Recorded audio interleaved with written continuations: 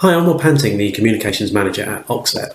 Here at OxLEP, we're working hard to support the Oxfordshire business community through this unprecedented time, signposting you to the relevant government coronavirus business support, helping you to make positive decisions both now and in the future.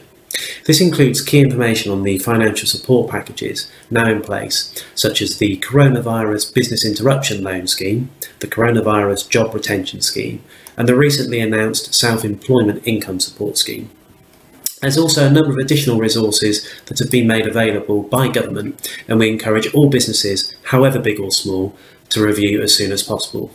Please go to our website oxfordshirelep.com slash coronavirus for the latest information. Thank you.